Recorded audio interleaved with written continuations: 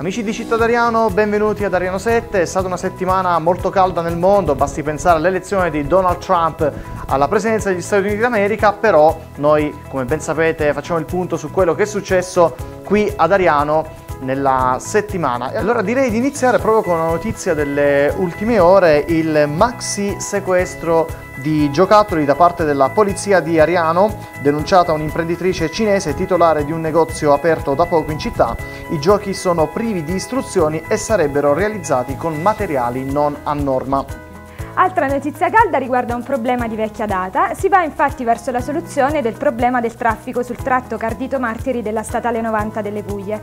La provincia di Avellino dà il via agli espropri per la realizzazione dello svincolo in località Manna. Insorgono però le polemiche sulle tempistiche dei lavori. E a proposito di polemiche se ne è scatenata una sui social riguardante appunto l'Arena Mennea.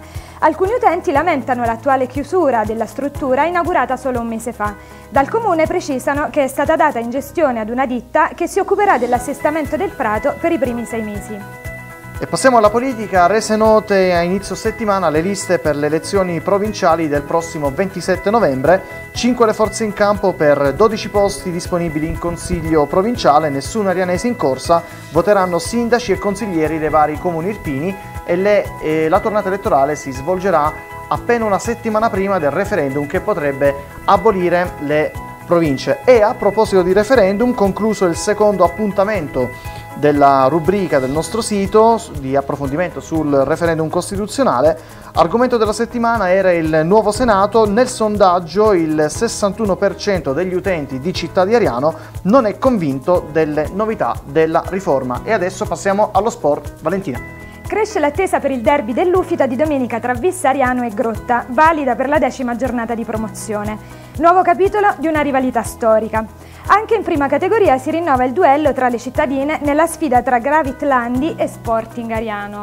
E non solo, una divertente iniziativa di sport è rappresentata dal torneo Città di Ariano, ehm, un campionato di calcio a 5 riservato alla categoria over 35, patrocinato dal comune. Le 14 partecipanti si sfideranno in un girone all'italiana e poi nei playoff. Mario, ma chiudiamo in bellezza.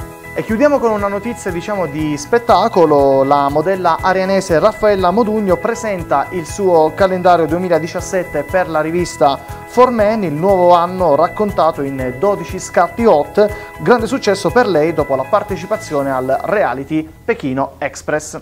E noi vi ringraziamo per essere stati ancora una volta con noi, vi diamo appuntamento alla prossima settimana, vi ricordiamo di iscrivervi anche al canale YouTube di Cittadariano, ci rivediamo la prossima settimana.